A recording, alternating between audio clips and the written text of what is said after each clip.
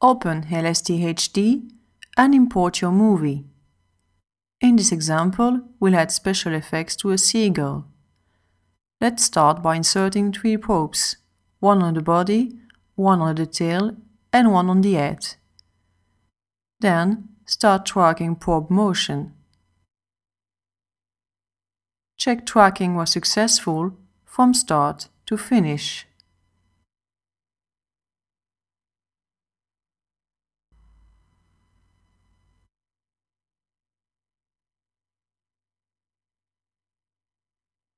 Oh, the probe isn't on the head anymore.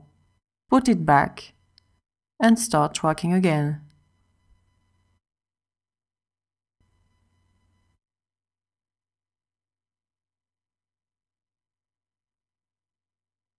Now check to the end.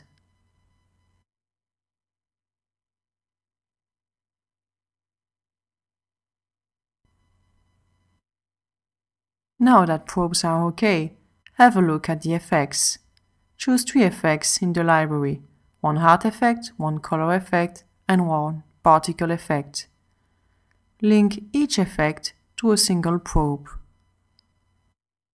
Particles are for the second probe. Uncheck the other ones. Modify the particle size to make them smaller. And add some color to them.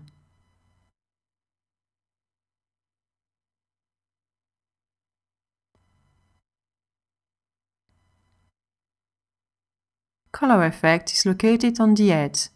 Uncheck probes 1 and 2. Click Reset Positioning to apply the effect on the probe. Click the arrows to show the preview or next effect. The art effect should be linked to probe 1.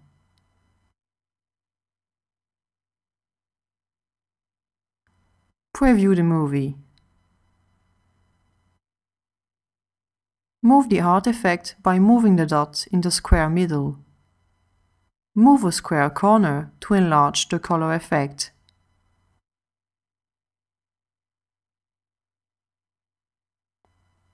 Preview the movie once again.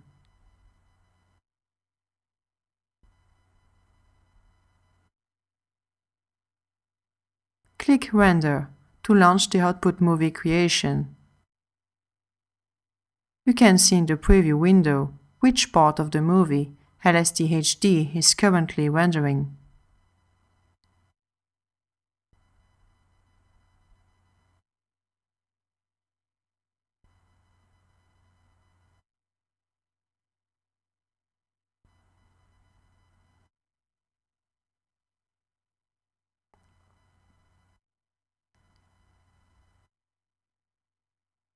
The output movie is available.